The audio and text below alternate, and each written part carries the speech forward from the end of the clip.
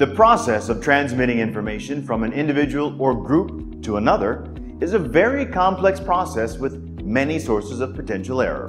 In any communication, at least some of the meaning is lost in simple transmission of a message from the sender to the receiver.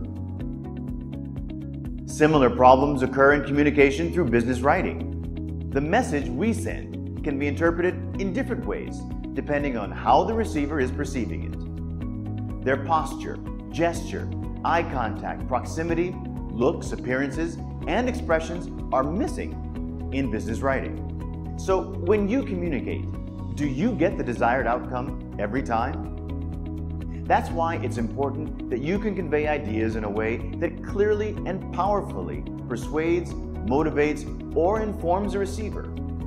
In this lesson, you will also learn to build personal branding. Personal branding simply means marketing yourself to enhance your career. This includes self-packaging. One has to create a value proposition and carefully communicate your values, beliefs, and purpose to your target audience.